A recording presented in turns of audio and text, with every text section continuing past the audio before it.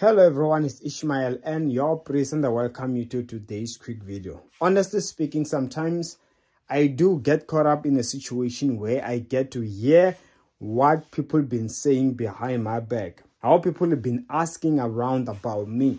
You get what I'm saying? How people been describing my situation. Listen, they are watching, they are searching, they are looking, they are bored, they are bored. Okay?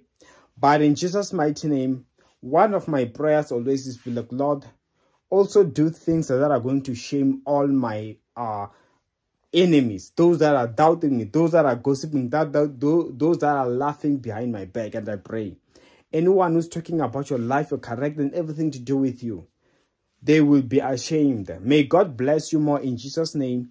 Amen. My details are on the comment section below. See you next time.